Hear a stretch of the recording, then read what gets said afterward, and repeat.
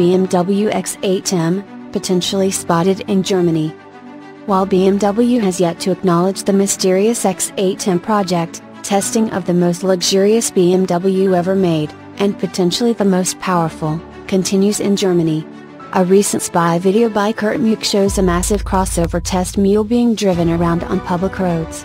The front end of the large SUV is clearly covered by a lot of fake body panels, so it's hard to make out the actual design.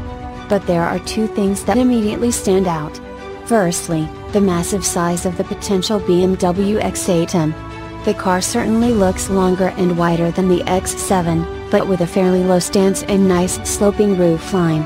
The kidney grille looks smaller in this footage than on the X7, while the iconic headlights feature a split design with sleek graphics. Secondly, this is without a doubt a plug-in hybrid vehicle. We've already heard rumors of a PHEV drivetrain in the X8M and the sticker on the side door confirms that at least this test mule is using some electric power under its sheet metal. Inside, we expect a posh and upscale design, dramatically different than the one on the X7. More refined materials, full leather upholsteries, new digital screens together with likely the new iDrive 8.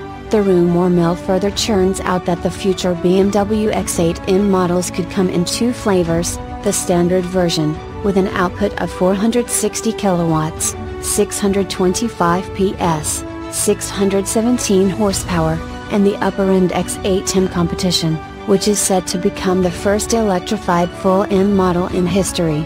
The future X8M competition will pack a hybrid powertrain combining a V8 petrol engine and an electric unit that together will raise the peak output up to staggering 552 kilowatts, 750 PS, 740 horsepower. Considering that this test mule is still in the early public testing stages, we expect the BMW X8M, and its variants, to arrive sometimes in 2022. And without a doubt, the future BMW X8M aims to outshine the Stuttgart rival, which lacks any competitor in this upscale niche. Same goes for the Ingolstadt based Audi which only sells the Q8 at the top of their lineup.